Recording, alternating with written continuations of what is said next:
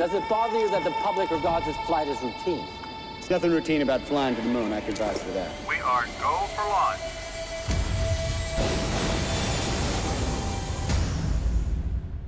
Houston, we have a problem.